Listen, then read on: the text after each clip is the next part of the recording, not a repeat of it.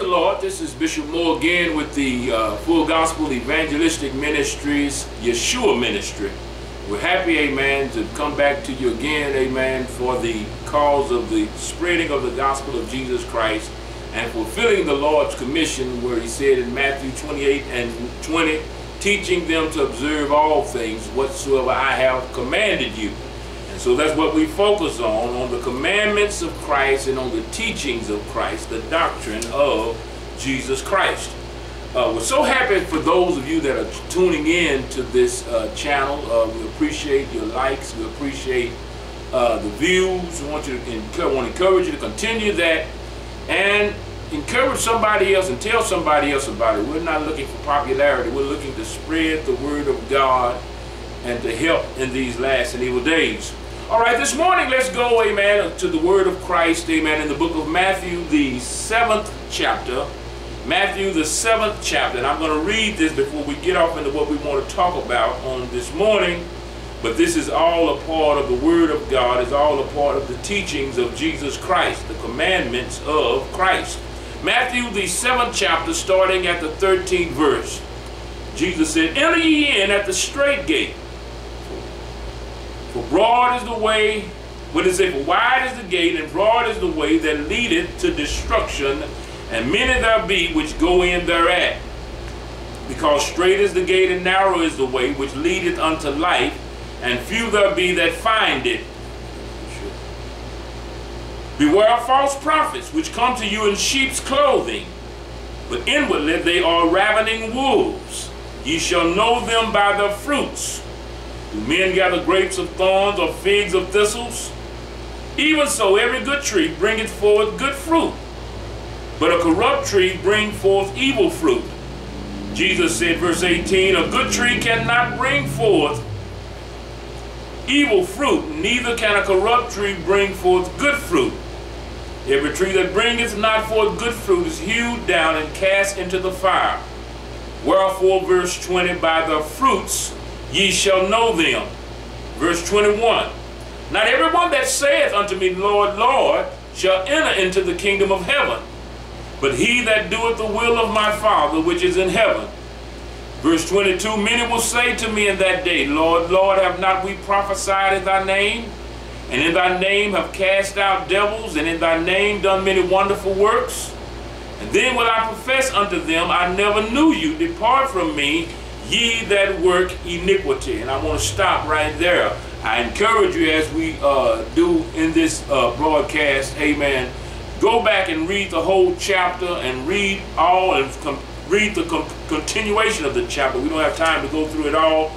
But we want to focus in this morning. We want to focus in on what Christ said in verse 15. Amen. Verse 15. Jesus said, Beware of false prophets which come to you in sheep's clothing, but inwardly they are ravening wolves. Beware of false prophets which come to you in sheep's clothing, but inwardly they are ravening or, or, or extremely hungry. That would ravenous mean. Ravening wolves. We want to talk this morning, we want to talk today about Jesus speaks concerning false prophets. Jesus speaks concerning false prophets. And I know I'm not going to finish today, amen. So I want to encourage you to listen to the next uh, broadcast, amen. We and get a get a further and a more thorough understanding of what we're talking about. Jesus speaks concerning false prophets. He said, "Beware of false prophets which come to you in sheep's clothing." He said, "But inwardly they are ravening wolves." Jesus is speaking to his disciples. He's speaking to them, giving them a warning, giving them a, a warning to be on guard to be watchful of false prophets. Beware of false prophets which come to you, he said, in sheep's clothing, but inwardly they are ravening wolves. They come looking like sheep. They are hypocritical. They come in sheep's clothing, but he said, but inwardly they are ravening wolves. And we have this taking place today. Uh, the Lord also said in the book of Matthew, the 24th chapter, he said, many will come in my name saying, I am Christ, and shall deceive many. They're going to come saying, I'm of Christ, saying, I believe in Christ. And Jesus said that they would uh, deceive many. Beware of false prophets. Jesus speaks concerning false prophets. Now, let's look at this. Let's look at this, and we're just going to break the ice a little bit today. There are some she-wolves. Wolves are, are, are carnivorous, carnivorous animals. They eat meat. And there are she-wolves and he-wolves. It's not just he-wolves. We tend, I, I believe, to many times just think of the he-wolves, but there are some she-wolves. And there are some he-wolves. Wolves, uh, they, they run in packs. And there's an alpha and female wolf. Those are the ones that dominate over the entire pack. Those are the ones that mate.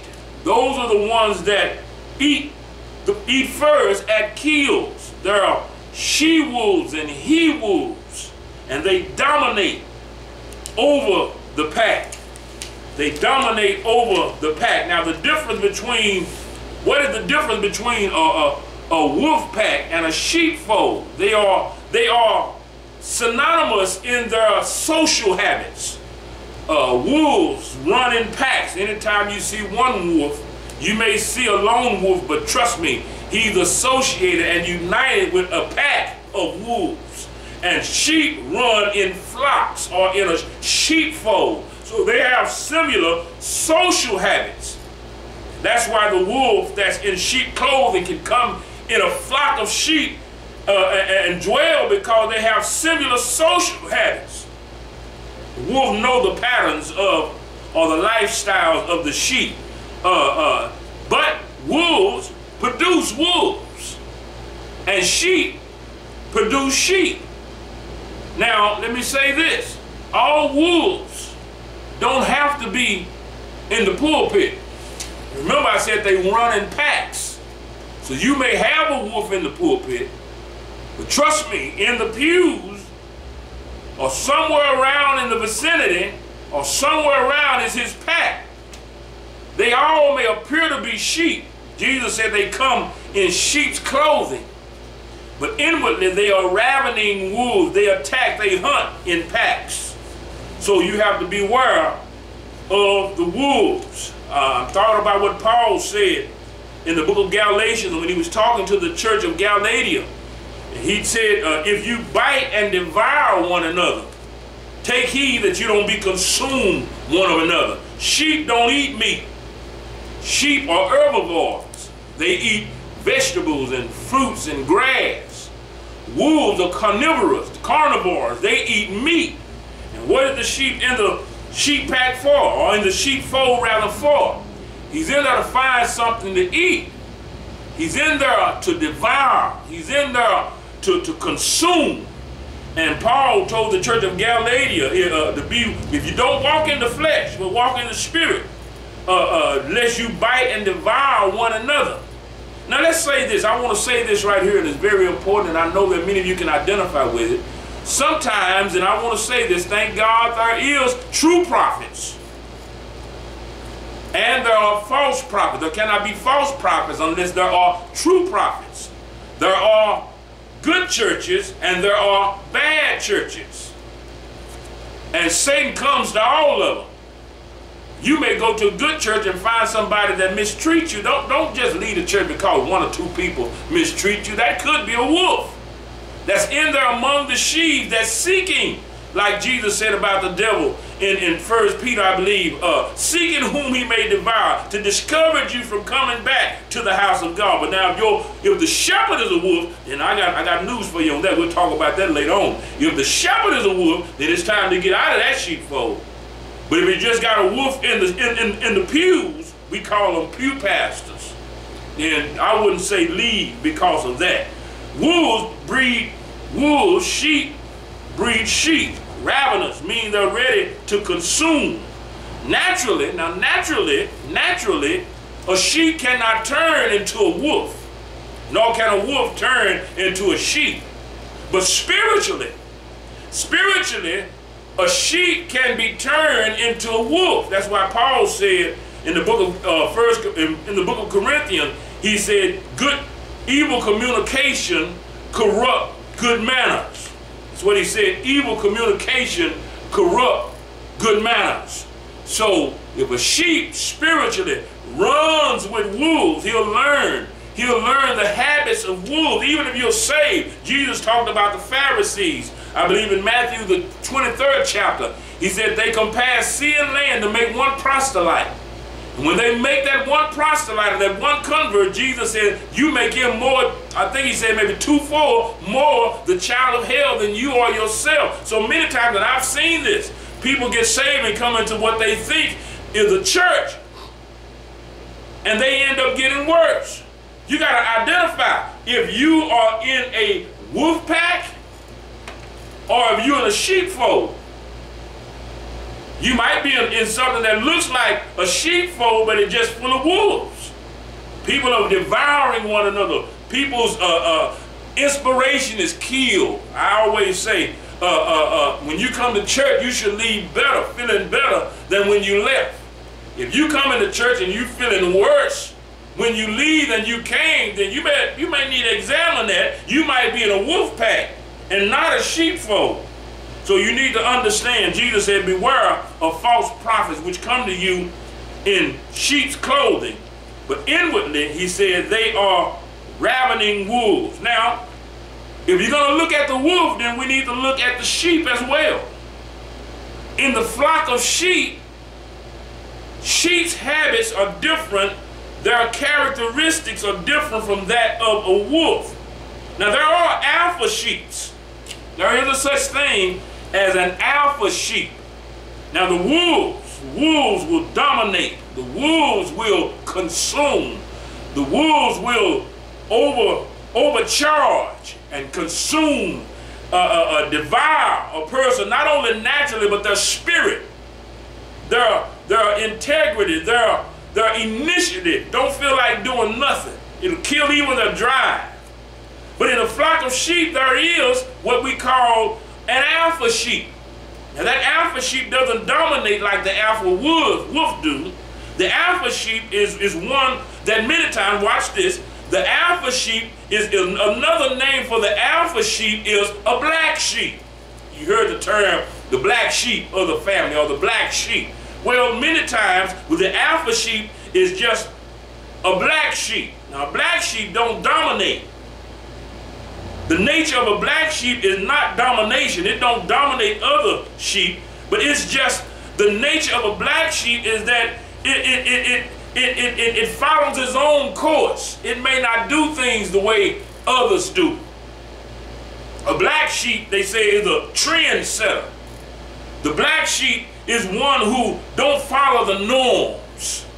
You know, you heard of the ugly duckling, the black, uh, uh, they show the black duck that's different from the rest of them. He's a, he's a duck, or he's a sheep, but they don't follow the same they're, they're, they're, they're, different in their pattern of doing things. Not that they're wrong, but they just don't see things the same.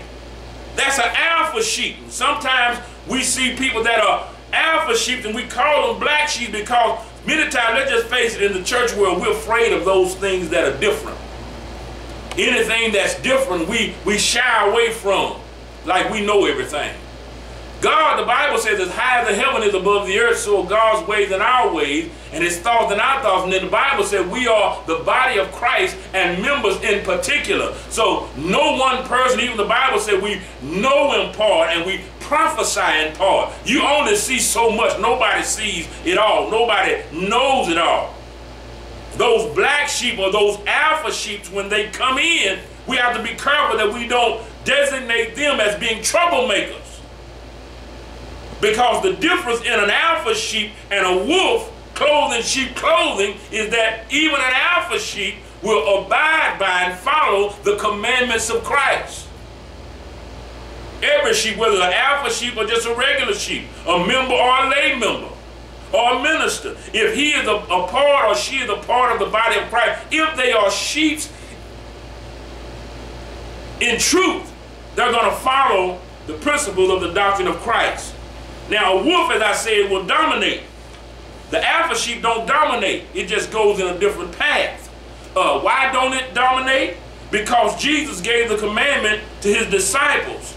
in the book of Matthew, the 20th chapter, and the 20, I think the 20, uh, 25th verse, Jesus talks to his disciples. But Jesus called them unto him and said, Ye know the princes of the Gentiles exercise dominion over them, and they that are great exercise authority upon them. Verse 26, Jesus tells us, the disciples, But it shall not be so among you. The Lord never called us to dominate anybody. Paul said, not that in the book of Corinthians, not that we have dominion over your faith, but we're helpers of your joy. And then he says in the book of First Peter again, uh, not being large over God's heritage, but the wolf will seek to dominate. The sheep don't seek to dominate. It leads and it leads, and then the, the regular sheep will follow, and the alpha sheep will still stay within the perimeters of the doctrine of Christ. Are you listening to me? An alpha sheep is labeled a black sheep. Uh, uh, uh, not because it does anything wrong, but simply because of its nature is not to follow the natural norms. Now the question, the question that we have to ask wolves in sheep clothing or to identify, how do I identify, how do I identify a false prophet? How do I identify a false prophet? Well, Jesus said, ye shall know them by the fruits. Now, when he said, ye shall know them by the fruits, many times we think about, okay, well, is somebody getting saved? Is the Spirit of God in the church? Is the church growing? God healing? Miracles taking place? That's not the fruit Jesus is talking about.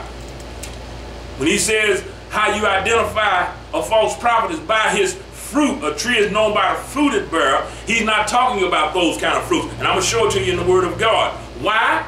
Because those things, people getting saved, people getting healed, deliverance, miracles, those are not the works of the minister. Those are the works of God. The Bible said, and the Lord added daily to the church such as should be saved. Jesus said, I believe it's in maybe St. John 6 and 44, he said, no man can come to me except the Father draw him.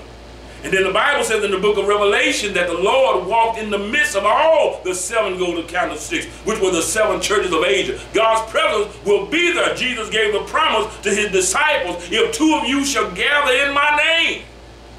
He promised he would be in the midst, so you may have a thousand people there. You could have a thousand wolves.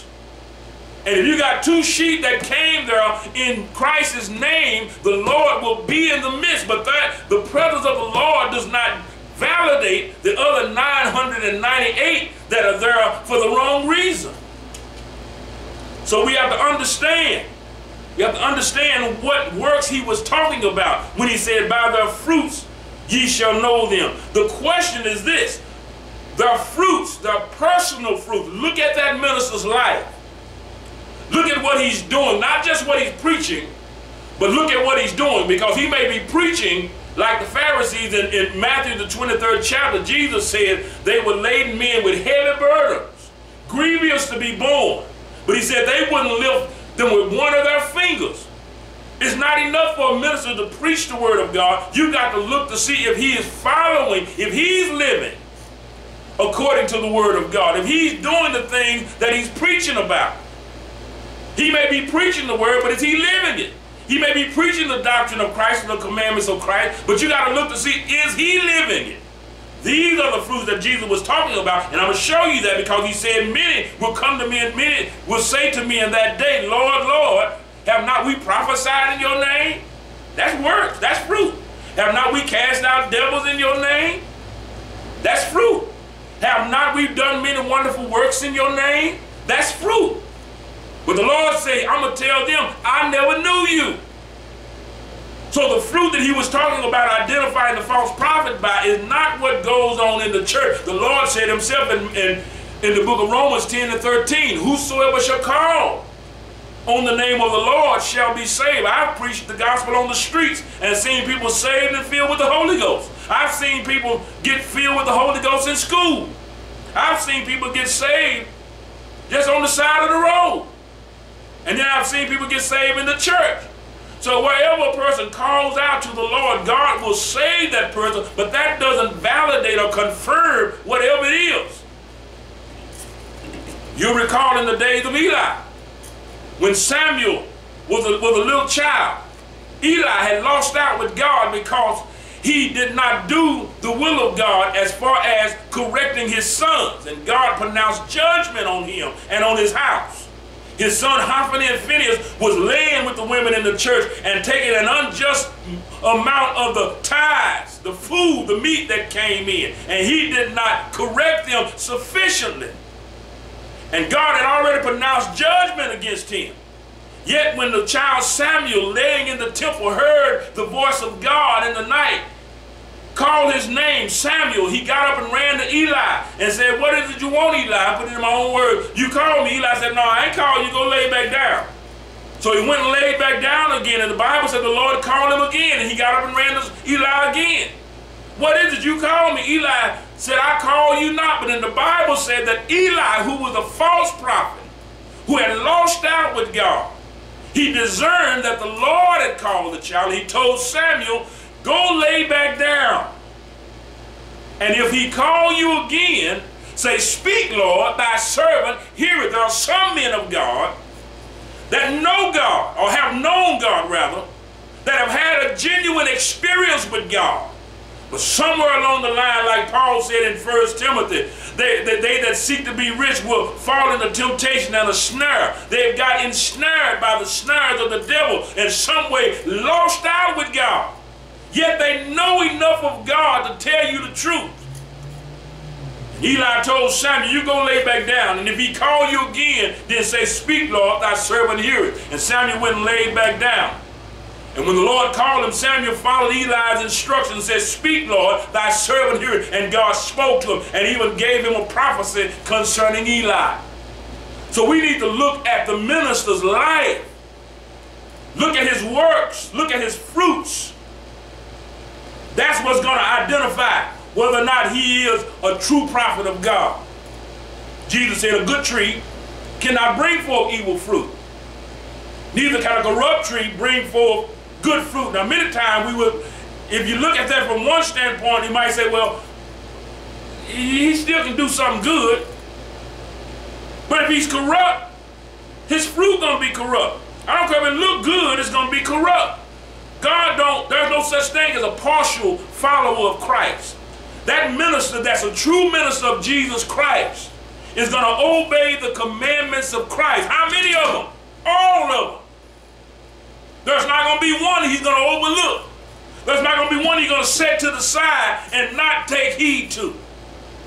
Anytime you find a minister that can override the word of God or ignore one scripture, don't take that many, it just take one. Jesus said, heaven and earth shall pass away before one jot or tittle shall pass from the, from the law. Any minister that's up, that, that's, that, that, that, that will tell you that you don't have to obey one of the commandments of Christ is a false prophet. Because if he tell you you, you can oh, disobey one, pretty soon he's going to tell you you can disobey another. And the Bible says little leaven, leaven is a whole lump. Beware, Jesus said, of false prophets, which come to you in sheep's clothing. He said, but inwardly, inwardly, the false prophet is a hypocrite. He come looking like a sheep. He knows the habits of the sheep. He know how to blend in. He know how to speak in tongues. He know how to shout. But he said inwardly, they are ravening wolves. Look around. If sheep are disappearing, it may be because you got a wolf in there. And if you got one, there's a 99.9% chance you got two. And if you got two, you may have a pack in there. They don't look like wolves. They're in sheep's clothing. Now, how did they get the sheep's clothing? They killed the sheep. That's the only way you get sheep clothing is that you have to kill the sheep. And he didn't just kill the sheep, he ate the sheep. How many times have we heard of people going to church and leaving church hurt? They leave, leave and go home and sit down. They ain't going to church no more. All them people hypocrites. No, baby, all of them not hypocrites. You may just ran into a wolf in sheep's clothing, and that was the whole design to keep you out of the house of God. I like the way my pastor used to say it. If you let the hypocrite stand between you and God, he's closer to God than you are. If you let somebody keep you out of church because they're evil, then that means if they stand between you and God, which means they are closer to God than you are. Jesus said, Beware of false prophets which come to you in sheep's clothing, but inwardly they are ravening wolves. Every sheep, every sheep, the alpha sheep as well as the regular sheep must follow the shepherd. Every shepherd must be a sheep. We are we are under shepherds. Jesus said, the scripture says in the book of, of 1 Peter, when Peter speaks to the church, he said, Feed the flock of God, 1 Peter 5 and verse 2. Feed the flock of God which is among you, taking the oversight thereof, not by constraint, but willingly. Not for filthy lucre, see, a wolf is looking for money, but of a ready mind, neither as being lords over God's heritage, but being in sample or an example to the flock. He said, And when the chief shepherd shall appear, ye shall receive a crown of glory that fadeth not away. See, the chief shepherd is Christ, not the preacher, not the minister, not the apostle, not the bishop, not the pastor, not the evangelist. The chief shepherd is Jesus. We all are sheep. You may be an alpha sheep, but you're still a sheep. You still have to follow the shepherd. We are the body of Christ and members in particular. So let's make sure that we follow the shepherd, follow Christ. We must follow Christ. Paul said to the church in 1 Corinthians, I believe the 11th chapter and the first verse. He said, Be ye followers of me, be ye followers of me, even as I am of Christ.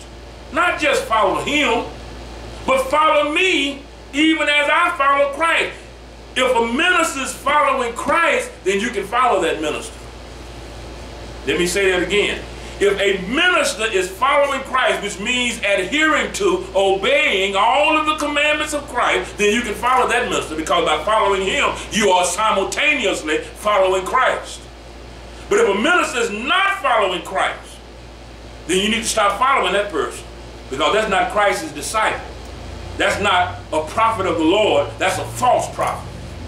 Moses told the children of Israel in the book of Deuteronomy about the 13th chapter and first verse. He said, There arise among you a, prophet, I, believe he said, or a dream of dreams, and he give you a sign, or he, he or, or, or, wonder, and it come to pass. And if he turn around and tell you not to follow God or not to follow the commandments of God, he said, Don't follow that man because the Lord has not sent him. It all hinges on what the, what the commandments of God is. All hinges on the word of God. Not on how good he sound, not on how, how, how, how good he shake, but is he obeying, is she obeying the commandments of Christ? All of them. Can't say, well, he obeying part of them. No, then that, that means he's a partial, a partial follower of Christ. That means he's not a follower of Christ at all whom the Son set free, the Bible says he's free indeed. So we must follow Christ. Beware of false prophets, Jesus said, which come to you in sheep's clothing, but inwardly they are ravening wolves. How are you going to know them? Jesus said, by their fruits ye shall know them. I want you to listen to the next, next broadcast. We're going to go a little deeper into it. Let's follow Christ. He's the only way to eternal life. I am the way, the truth, and the life, Jesus said. No man cometh unto the Father but by me. God bless you till we come your way again.